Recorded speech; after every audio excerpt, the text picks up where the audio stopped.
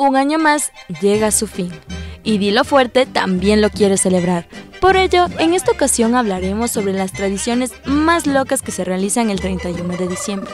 Acompáñanos una vez más y cuéntanos si mantienes algunas de estas costumbres. Bueno, nosotros en familia, yo soy venezolano, este es el primer año que paso acá fuera de mi país y bueno, nosotros por lo general hacemos la cena antes de recibir el año nuevo, comemos las 12 uvas y faltando 5 minutos antes de recibir el año nuevo, nos tomamos de la mano y hacemos una oración familiar para recibir el año. Año nuevo, vida nueva, dice el dicho. Y para ello nunca viene mal una pequeña ayuda. Por ejemplo, la ropa interior roja para el amor o la amarilla para el dinero. Pero aparte de esta famosa superstición, también están las 12 uvas en los últimos 12 segundos del año.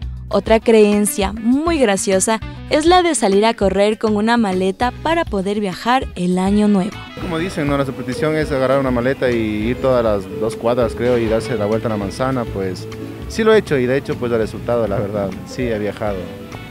Bueno, en mi país dicen que colocarse ropa interior amarilla, pero en realidad no lo he hecho. El calzón amarillo, quemar un año viejo, salir a caminar, botar todo lo viejo, comenzar una nueva, un nuevo año. El fin de año es una de las pocas fiestas que se celebran en casi todo el mundo. Por eso hicimos una pequeña investigación de tradiciones en otros países. Y ya el 31, que es Nochevieja, hay una tradición que es en, la cena de familia, en el cava, eh, metes algo de oro o de plata. Esto es raro, la gente suele poner un anillo de oro o de plata y te bebes el cava con el anillo. No te sueles tragar el anillo. Es solo reunión de familia. Aquí no hay quemadas de viejo, porque es más, lo tienen como un tributo de familia. Y en Nueva York, en cambio, la diferencia es de que hay un lugar llamado Times Square, un lugar popular en Nueva York, que van todos, toda la mayoría, de la gente de la ciudad, a celebrar el conteo del fin de año. Eh, bueno, el fin de año en Colombia se festeja de esta manera. Por empezar, eh, desde la mañana se empieza a hacer los años viejos o monigotes que les llaman. Eh, se hace a veces em, imitando a un familiar, algún amigo, y se hace un testamento eh, donde se deja, el, el, año viejo deja a cada persona de la familia algo, puede ser en broma, bueno, lo que sea.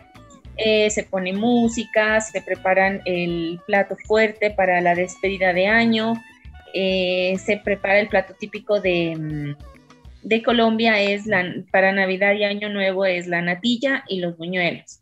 Vivimos en un mundo que se rige por la ciencia y el razonamiento, pero resulta interesante cómo se mantienen ciertas supersticiones asociadas con la magia y la suerte. No cabe duda que son divertidas de practicar.